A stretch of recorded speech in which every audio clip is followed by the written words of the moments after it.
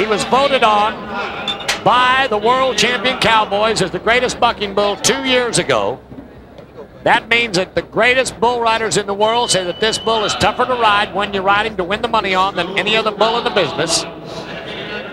Sammy Andrews can be proud of that. Sammy Andrews. He is from going Andrews, through the finger. Look at he that. Is, he is. He is. He's going for the downs. That means if he if, Wow. if, if he bucks off, that hand rolls over, hangs over on that wrap, and then the clown's going to have to come in and untie. it. Ten thousand dollars, Ervin. Yes, Ten thousand dollars. Go on, little Oh, Willie. yes, he's not gonna get him out of ride, there. ride, ride. Yes, we got one. Chicago, get up, get with it, and Sweet get home. Chicago. Ten thousand dollars. He is in the lead. Only one man can. One man can Ah. beat him. The worst he can win is six thousand dollars for that eight seconds on Outlaw Willie. We knew this guy was overdue. He has been riding so good in them earlier rounds.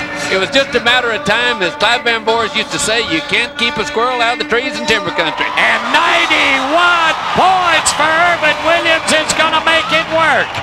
Ladies and gentlemen, it's a history-making day at the Rosemont Horizon on ESPN in Chicago, Illinois for one fact. We had gone eight times in a row before we qualified.